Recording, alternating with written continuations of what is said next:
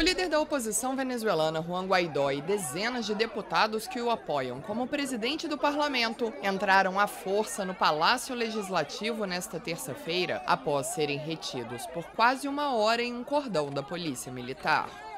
Cerca de 20 PMs bloquearam o acesso de Guaidó e mais de 100 deputados que ficaram na entrada do parlamento até conseguirem romper o bloqueio à força.